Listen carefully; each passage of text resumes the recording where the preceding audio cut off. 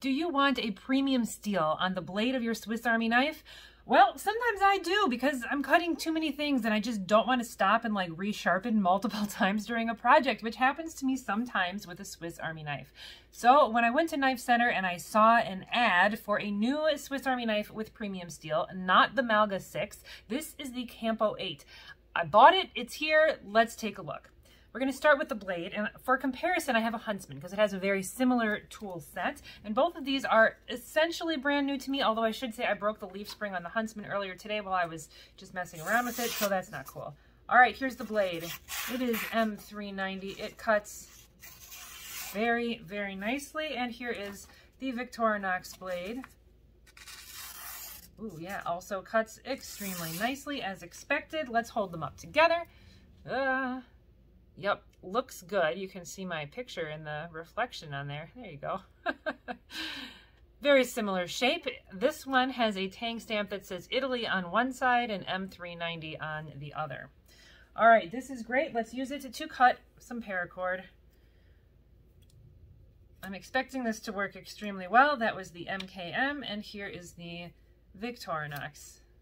Fantastic. Both of them very nice and clean cuts there let's move on. Next, we've got our secondary blade, and on this Malga, or on this, excuse me, Campo 8, it is serrated. So I'm going to try this. I did actually try this already, and I was a little... It's not like that great on paper, but that's not what you're using a serrated blade for anyway. It's just not for this task. To me, a serrated blade is more for like cutting cordage. So let's give it a good chance here. Yeah, so it does cut, but not all the way through first time.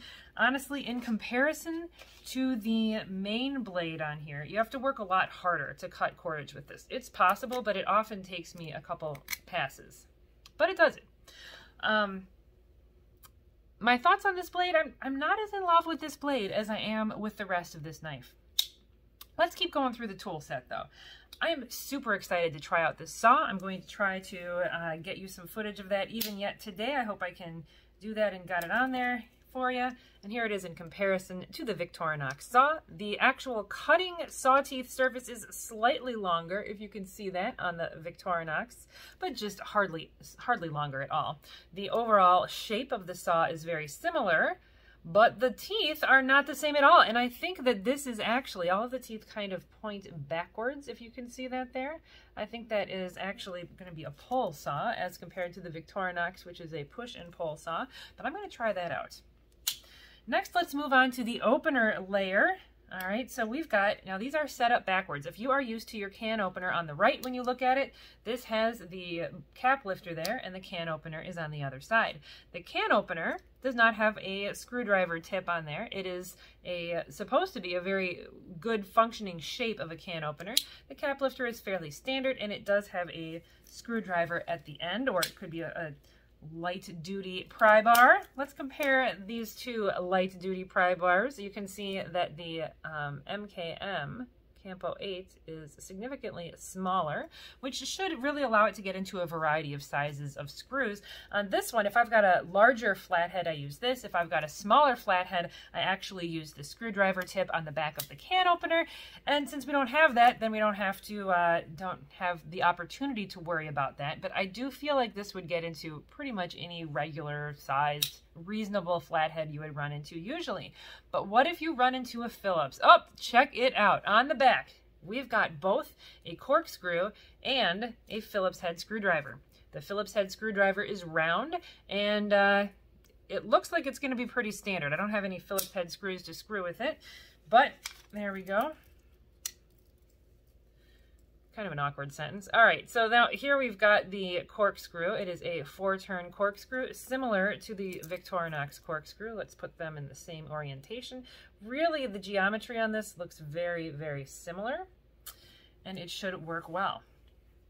There is some room for over travel on this side if you use that to help get your wine bottle out. That is a possibility there. Okay, now before we get to the scissors, we're going to move on to everybody's favorite tool, the lanyard hole. This one comes without a key ring in it, but you could put a lanyard in there. Now, I I believe, let's see. No, I don't I don't think that either of these are integral to the liners. These are separate from the liners, I think, for both of them. It's a little bit different shape. It has a little movement to it, actually, so that's interesting. I would assume it would be pretty stable, and it is, I can kind of see if I look inside there, it is attached in there uh, through the same pin that's holding everything else in, but it does have a little, little travel to it there. Okay, now let's move on to the scissors. Unlike the Victorinox scissors, this has a cutout. You see that? It's got like an actual hole that goes right through the scissors. And that means that you can access this from either side, which is fantastic.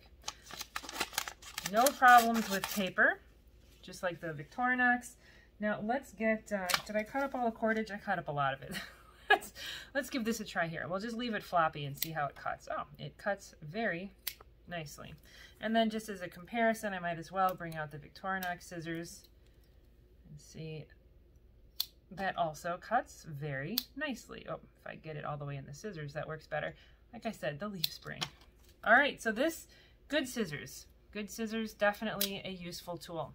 So let's get outside. We'll try out that saw. And in the meantime, I will tell you a little bit about what I've got going on with the outside here. This is green canvas micarta. It is, the scales are held on with these Torx drive um, screws here. However, I don't think that anybody is yet making any other handles that you could put on here so that you're kind of stuck with these scales to me, they look nice. It comes in three colors, black and natural, I think, uh, canvas micarta. I think it looks really good though. I don't have any concerns about the appearance on this or these scales in particular. It is nice to know they could be replaced eventually if somebody does make some scales or you could have some done custom. Notably, and these do not allow you to take the knife apart and easily modify the knife you know, and honestly, if they did, I would get a Malga or a fork from a Malga, and I would probably replace this serrated knife. I don't know that this gives me enough added function, and the serrated function of it for cutting cordage doesn't seem like it has shown, you know, quite as nicely as the regular knife. So I could picture a scenario in which I took that off and replaced it with the fork from the Malga. All right, let's get outside and try this saw. All right, I'm not sure whose idea this was because it's uh, it's raining. All right, I'm going to try to do just a little bit of cutting on this piece of wood so you can kind of see what I'm doing here. There's Finn. He loves anything to do with saws, especially if you can find a uh, chainsaw. Man, he'll go and put his face right next to it. Really got to watch that dog. All right, so pretty easy to make some space through there. This is the cut I just made here.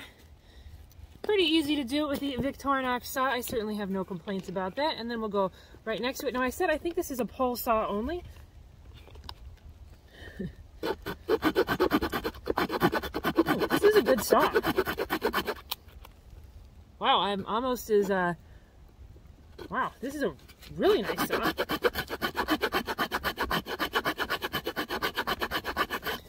Boy, I've gone farther and I feel like I haven't done as much work.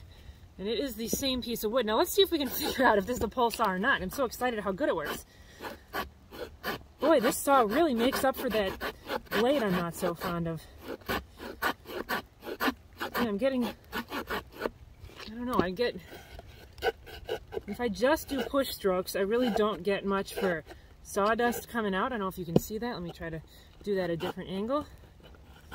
But if I do pull strokes only, I get sawdust coming out. So I'm going to say this is a pole saw, but man, it's working great. Thank you so much for joining me. See you next time.